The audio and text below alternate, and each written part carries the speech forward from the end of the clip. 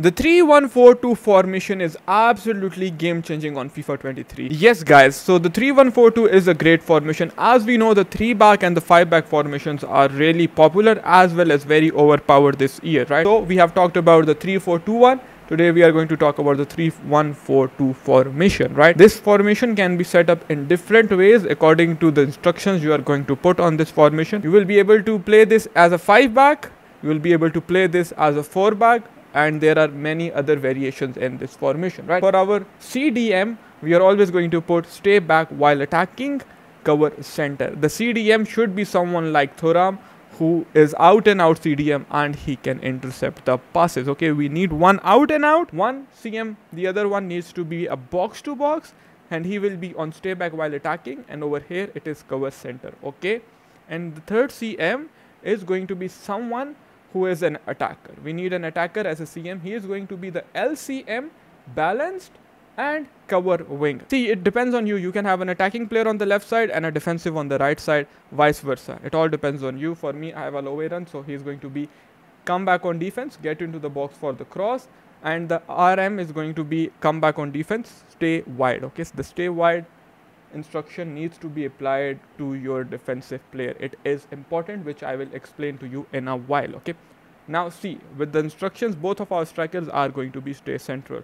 Once we put these instructions, our formation is going to play out as a 4 back, as a 4-4-2 once we are in complete defensive shape. This is how the formation will look like. Now, this is how it is going to look in attack. Look, see, how many attacking options we have. We have a triangle between three midfielders. We have the LM who is going to take out the right back and we have our RM situated near to our CMs for quick passing plays, right? Now our strikers are a little bit distant compared to our midfield and if you struggle linking up the midfield with strikers, you can put target player like you can see the number 6 will drop back if you put one of the strikers on the target player and it will provide you with link up options. So if you want to defend in a 5 back in this formation, put both of your players on comeback on defense, the LM and RM take off stay wide and you will see it will defend as a 5-3-2 if you put your CM on cover center the attacking one. Alright for the tactics it's going to be balanced. Our width is going to be 38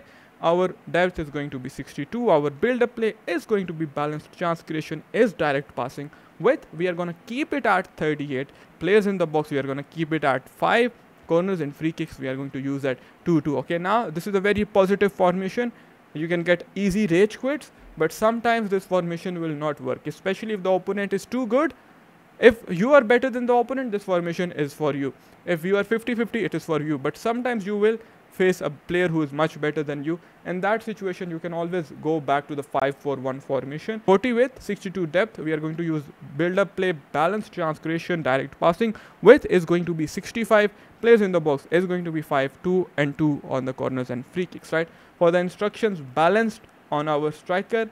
CM stay back, cover center. LM come back, RM come back. Alright.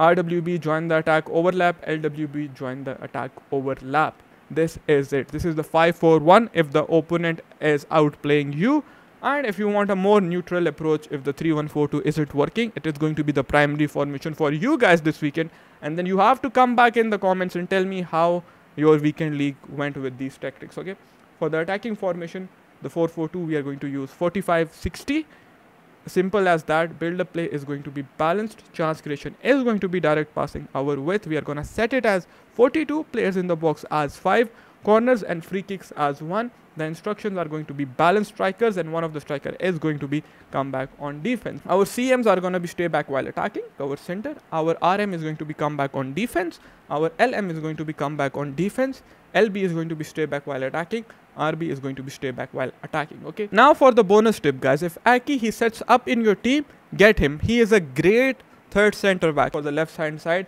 He is absolutely amazing. Kaka is great. You need one defensive CM, one box to box CM, one attacking CM who can defend. So if you have players like these, even if they are not top tier players, you will be able to perform excellent this weekend league.